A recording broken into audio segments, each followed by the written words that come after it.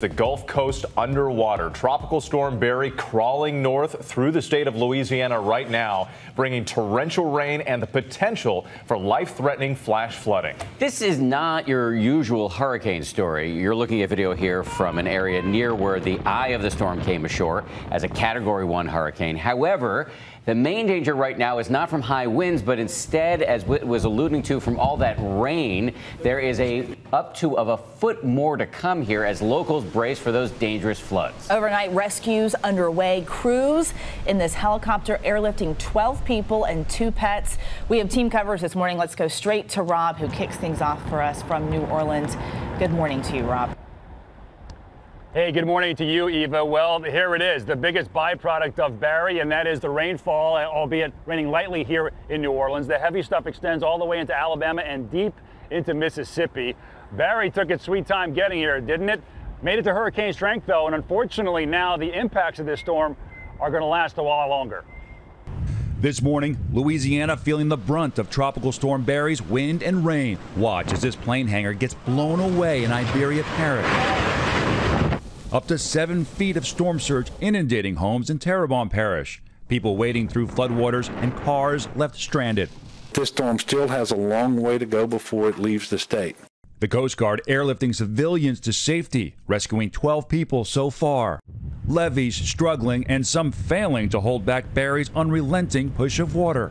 Look at the storm surge here on Lake Pontchartrain. Huge waves on top of a five to six foot surge. South winds just ripping off the lake, pushing water deep into this neighborhood. Vicious winds tearing through communities across the state, blowing this roof onto a parked car and overturning an RV. Trees collapsing onto homes. She was sleeping, and when she heard it, she knew it was her house everything shook. I think the neighbor's house shook. And hundreds of thousands left without power. Local officials urging caution. We are urging residents to shelter in place or make any decisions to move to our open shelters now. What's your mindset now, knowing that you're going to have a couple of days of heavy rain in New Orleans? It's a lot of problems for a lot of people, especially with the levee being so high already. Mother Nature is unpredictable. It was early Saturday afternoon that Barry made landfall as a hurricane near Intracoastal City, Louisiana. Now, this slow moving tropical storm set to dump flooding rain across the south. The center of Barry right now, not even close to being out of the state of Louisiana. Here it is on the satellite radar composite just to the west of Alexandria, just to the south of uh, Shreveport and that moisture stream extends all the way back to the upper Texas coastline. So we've got to get all through that. In between some of these streamers, it's it's kind of dry. We're in a, a, spell of that right now, but flood watches do extend all the way into Missouri and southern Illinois, Paducah, Memphis, Tupelo, Greenville. You're going to get it. Tropical storm warnings as well.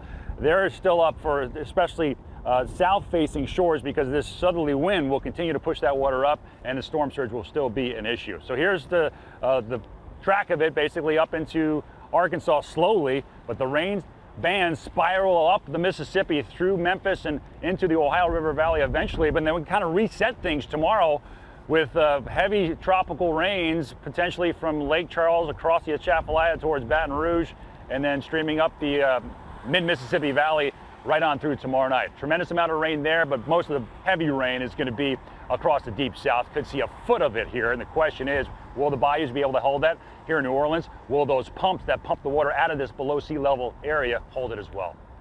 Eva? All right, thank you, Rob. Now let's go further inland to ABC's Alex Perez, who's in Baton Rouge, where major flooding is a concern. Alex, good morning.